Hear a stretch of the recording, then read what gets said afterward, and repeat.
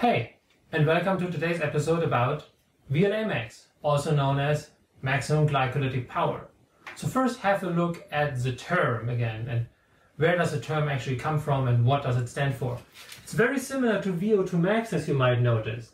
It consists of a V with a dot, which is again a flux rate, and the term LA, which stands for lactate, and then obviously maximum. So why is the maximum flux rate of lactate glycolytic power? Well, pretty straightforward. In your glycolytic or a little bit more roughly anaerobic metabolism, every time you want to produce power, you want to produce energy, you're breaking down glucose and you produce lactate.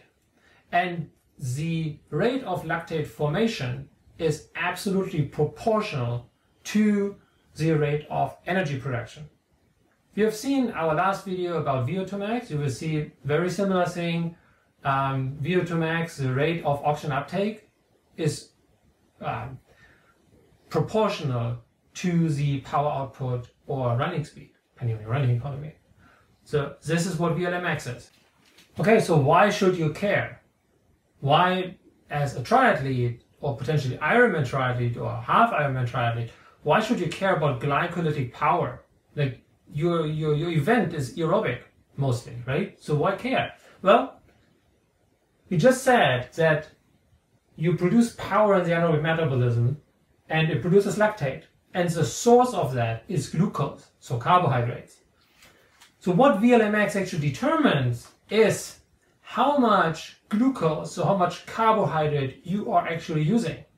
So a low VLA-max value, this is kind of the lower range, professional marathon runners, very, very, you know, gifted endurance athletes, Ironman, so on and so forth, 0.2 millimoles per liters per second. Highly trained sprinters, you know, track sprinters, high anaerobic athletes, approximately 1.0, maybe a little bit higher um, in that ballpark, okay?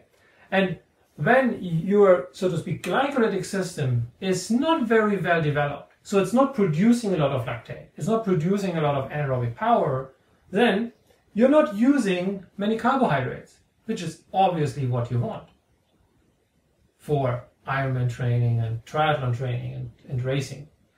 However, when the system is highly developed, so the ability of your muscle to produce glycolytic power, producing lactate and using carbohydrates for that is highly developed, then also in the race, you will use a lot of carbohydrates. So therefore, what you should aim for as a triathlete is reduction of your VLA max.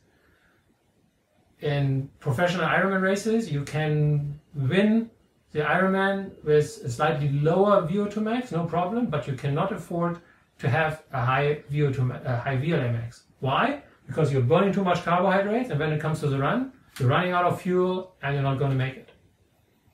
So now the question might come up, how do I know my VLA max?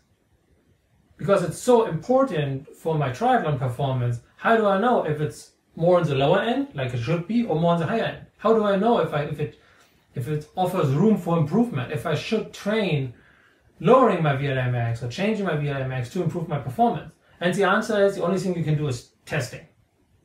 Testing is the only way to get an accurate VLA max. You cannot use any training data. You cannot read valid data out of your power duration curve or heart rate or training data.